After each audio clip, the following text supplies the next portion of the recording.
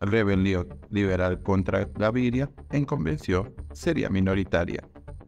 El expresidente será ratificado como jefe único liberal en la próxima convención partidista. Ahí está, y en las toldas del Partido Liberal continúan los preparativos de cara a la convención de la colectividad programada para el 31 de octubre y el 1 de noviembre.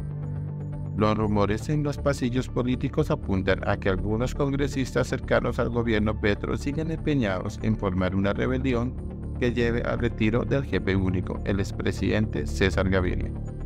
Sin embargo, los senadores y representantes que estarían en esa causa son una minoría frente a los que respaldan la gestión del exmandatario y su sugerencia de que los liberales se salgan oficialmente de la coalición gobernista y pasen a la franja de los independientes. Salto en vilo las acusaciones contra el expresidente de la Cámara y actual parlamentario del Pacto Histórico, David Racero, luego de una denuncia periodística de Daniel Coronel en torno a presuntos manejos irregulares en su día de trabajo parlamentario y la solicitud de cargos burocráticos en una regional del Sena, dejaron en la picota pública a uno de los principales alfiles del petrismo.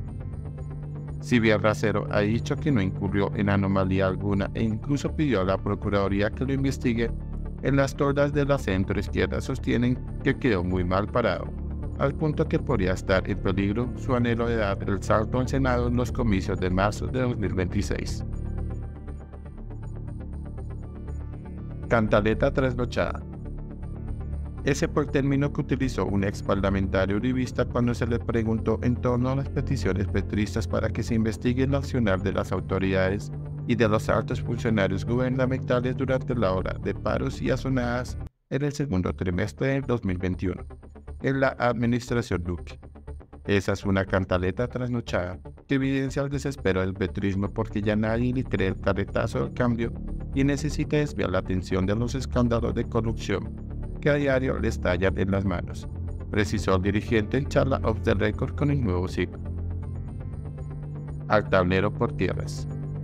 Y hablando de investigaciones en el Congreso, preparan otra citación a la ministra de Agricultura, el director de la Agencia Nacional de Tierras y a la propia fiscal general, con el fin de que expliquen cómo avanzan las investigaciones internas en esas dependencias administrativas y en el ente de control penal sobre las múltiples denuncias de corrupción en la adquisición de predios para repartirlos entre los campesinos. La procuradora Margarita Cabello será requerida con el mismo fin. Sin miedo y desde la democracia. Así se titula el nuevo libro del ex procurador y hoy vicepresidente del Grupo Prisa, Fernando Carrillo, que será lanzado el 18 de octubre en la Biblioteca de los Fundadores del Colegio Gimnasio Moderno.